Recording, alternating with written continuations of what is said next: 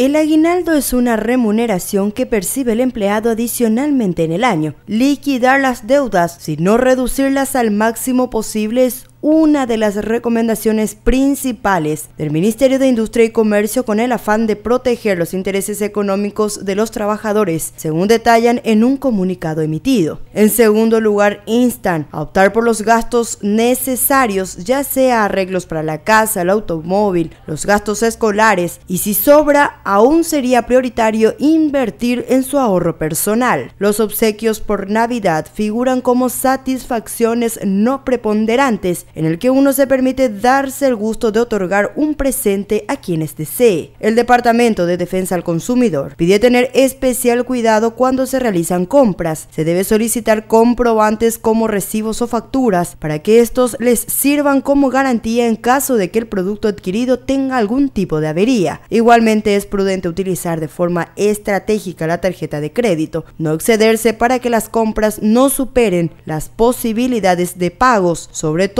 estar atentos ante las promociones existentes respecto a los meses de financiamientos sin intereses, recomiendan.